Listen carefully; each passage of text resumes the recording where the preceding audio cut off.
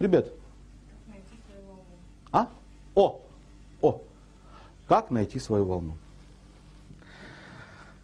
Восхитительнейший вопрос, молодчинка. Это самый главный вопрос по жизни у каждого. Значит, начинаем первый урок ереси.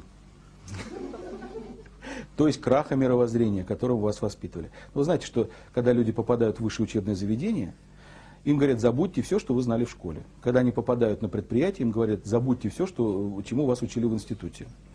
Вот. Вы попали э, вообще на очень обитаемый остров сейчас. Э, здесь говорят, ребята, э, до тех пор, пока вы э, знали все э, вот, о том мире, как вы знаете, да, вы пока не жили, вы существовали. А вот если хотите пожить, то это к нам, пожалуйста. Первый закон нормальных жизнелюбов. Никогда не делайте то, что вам неприятно. Значит, если ты не можешь изменить ситуацию, измени свое отношение к ней.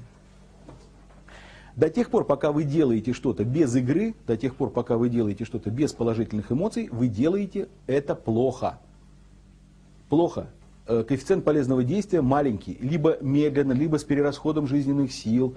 Э, либо ошибок столько наковыряете, что лучше вообще не, не трогайте, потому что на исправление ошибок вы потом затратите в три раза больше времени, чем на изготовление в творческом порыве.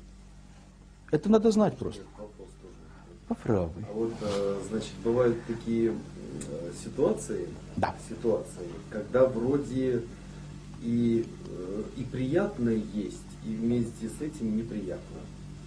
Ну, допустим, если брать какой-то пример, да, вот Так, стоп, стоп, отвечу.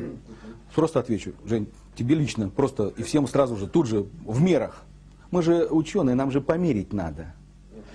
Так вот, если 20% положительного, а 80% э, ну хотя бы терпимого, это приходится делать. Потому что принцип Парета 20 на 80 говорит, что 20% э, чего-то дает 80% результата.